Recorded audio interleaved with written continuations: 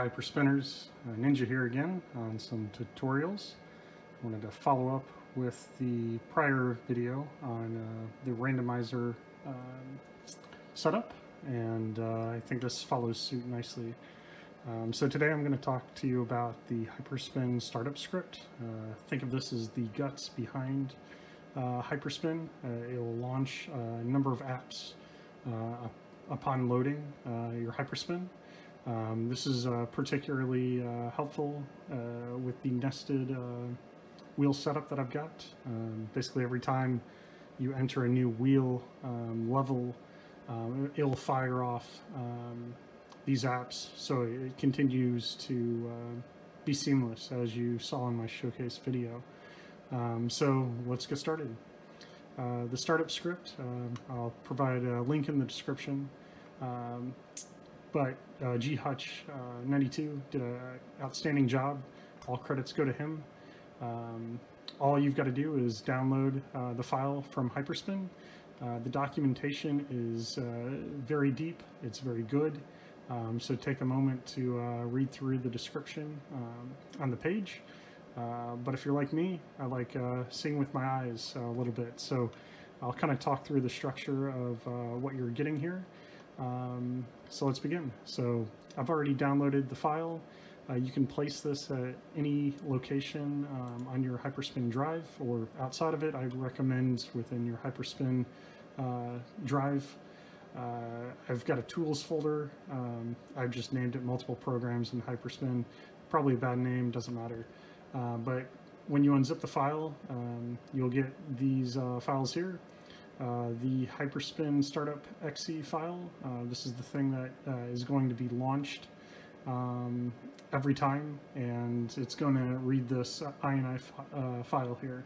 So I'm going to open up this INI file and uh, kind of talk through the setup here. Um, so basically you're just putting the location, the file path of your Hyperspin and your RocketLauncher paths and everything below that uh, is pretty vanilla. Um, it comes uh, basically standard.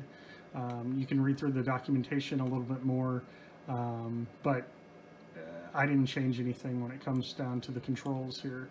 Um, so I'm going to scroll down here. This is the meat and potatoes. Uh, it's uh, pretty basic, but it's uh, basic is good here. Um, so we're at the startup section here, and this is basically uh, you're just identifying the programs that you're going to want to run um, and then what you're going to, uh, you know, where the path is for that exe and if you want it to uh, hide or not.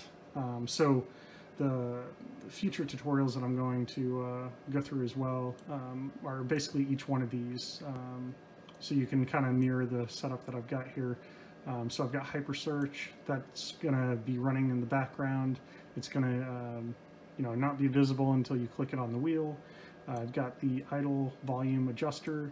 Um, this is going to run basically after five minutes of inactivity, the volume turns down.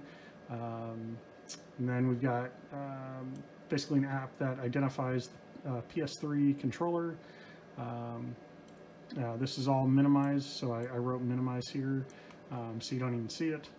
Uh, I use Joy2Key. Uh, this is particularly useful uh, for um, uh, BlissBox uh, that allows you to plug in any controller into an HDMI, which is plugged into a, a USB essentially, and it works seamlessly. I strongly recommend uh, that, and we'll be talking through that in a future tutorial as well. Um, and then we've got this run randomizer.bat. Um, if you guys remember in the prior tutorial on the randomizers, um, I had a uh, file that was a bat file. I'm going to pull it up here so you can uh, see it again here. But if we go to randomizer, I created this run randomizer.bat. You don't need this if you're um, going to use just the standard uh, hyperspin setup, but if you need the nested setup like I did, uh, you'll need to create a bat file. So since we're here again, uh, I'll just mention it. Um, to create a bat file, just uh, right click, new, and then um, uh, text document. Uh, and essentially you're going to just um, type in I'm going to edit the bat file so you can see it. You're just going to type this in. Start the file path. Make sure you put, uh, well, the drive, and then the file path. You're going to put in uh, quotations, and that's the location of that randomizer um, that we talked about in the last video, and then uh, hyphen ini colon dot slash random dot ini. So it's basically just going to call that. So once you go File, Save As, um, you know, you, you, can just save it as a, .text file first if you'd like, or uh, just change that extension to a .bat. Uh, but you know, you, you, can create a bat file by just renaming the file. Uh, I don't want to do it to the INI there. Uh, so I'm just going to say bat file. I click off, and it's going to say it's going to be unstable. Uh, it lies. It doesn't know. Uh, so that that's a bat file. Um, so that's what that is, the run randomizer. I'll show you the uh, Hyper HQ in a moment. Um, and then we've got this uh, no orphan uh, or no tray orphan exe. So this is basically an AutoHotkey um, script that I, I, created to basically uh, kill all of these instances of these apps that are running in the background because uh, the nested uh, setup basically creates an instance of Hyperspin uh, at each level. So I wanted to make sure that these apps weren't running like crazy in the background. Um, but th this is seamless. So I'll post this on uh, uh, the description as well. Um, and that's that. So those are all the apps that I run on the back end of my Hyperspin setup. Um, and you're going to see the next part of this script here uh, is the exit script. So it's basically a mirror image of uh, what we just talked through, but now we're closing things. So as Hyperspin closes or the level um, on the nested wheel changes, um, these apps are closing. Um, the no tray orphan um, exe here, um, that, that's just an annoyance maybe for me. Um, you guys might notice like when you go down to the system tray, you're going to see these icons that populate here. If you just kind of hover over it, they disappear. I didn't want to do that. Um, I just wanted the thing to to be clean. Um, so yeah, it's a bug on Windows 10 or even Windows 7 for that matter. Um, so anyhow, uh, the exit scripts, uh, same sort of thing. Um, I've got the name of the item that is going to be closed um, and the um, the target and the directory. Um, everything's um, identified here um, that we just talked about. The hyper search is being closed. The path is for hyper search is here and we just do that again for each one of the apps. So it's pretty self-explanatory, uh, pretty easy to set up. If you wanted to add more apps, um, you essentially just uh, copy uh, the block of text. You see the, uh, oh, well, I've got something I can fix here, but I don't think it matters. Uh, it's just an identifier here. But you can see that what I did is I copied uh, the prior bulk of text here, um, and then you could just paste um, that again and then just change the identifiers. I'll do that here since we're here and I like a, a clean setup here so I'm going to change that to 15, 15, and 15. Uh, again, it doesn't matter. Um, it's just uh, to tidy up the system there. So if I were to add another app to close, I would just copy that, paste it below, and then type 16 uh, for each uh, time here.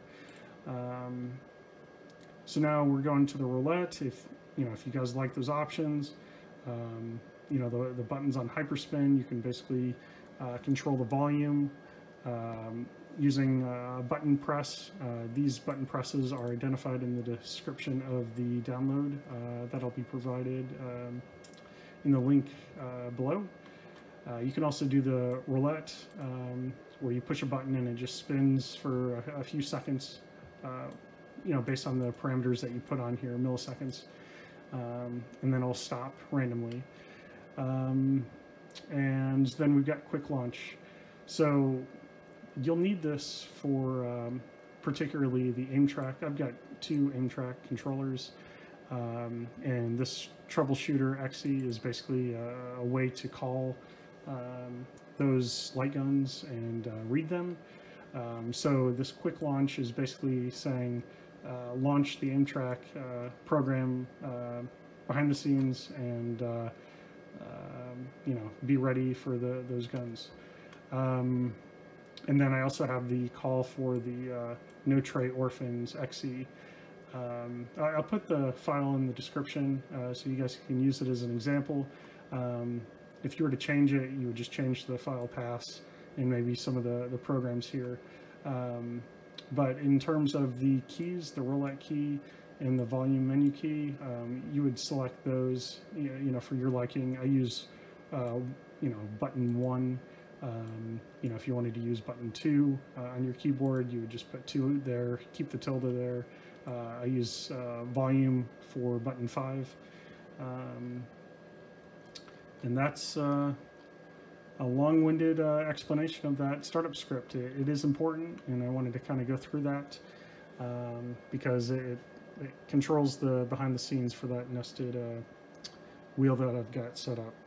Um, so as I promised before, um, yeah, I want to save that.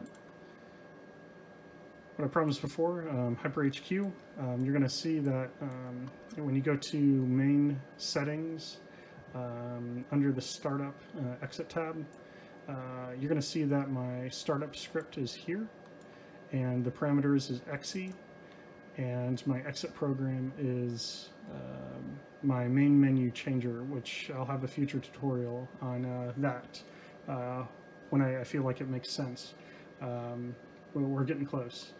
Um, so yeah, if, if you had the uh, just the randomizer itself, you could put in the uh, randomizer path here and uh, uh, you'd have, you know, randomizer.exe here, and then your parameters would be uh, one here. Um, so that's all there is to it. That is the startup script. I'll kind of um, boot up my uh, system again, uh, just to kind of show things off. Uh, the randomizer, you'll hear hyper speech, you'll hear hyper search, or you'll see hyper search. Um, do a quick quick view again. So also notice this might have been the first intro video um, with the last video. Uh, that randomizer doesn't actually randomize until you actually load into a wheel itself. So good to have you, you back, just, retro gamer. Up, up, down, down, hyper search. If you just um, pull up hyperspin and then close it, that randomizer Favorite won't actually happen. Loading. So what I'm going to do is I'm going to demonstrate that randomizer is actually working. So I'm opening up any sort of wheel. Hyper search. And then I can go back. And when I close Hyperspin, you're going to notice that Tron video oh. uh, will not be there. Uh, you know, we'll, we'll see. Uh, let's keep me honest here. So I just closed Hyperspin. I'm going to reopen it here. So there you go, new video. So I'm just going to go ahead and skip it by pushing uh, a button that I've set. Introducing skip. Hyperspin. Believe the hype. And uh, pick any old school system from the wheel so and get ready to travel back now. in time. I've oh. customized a number of random uh, Choose from a intro list of all systems uh, supported regardless of category. Game on.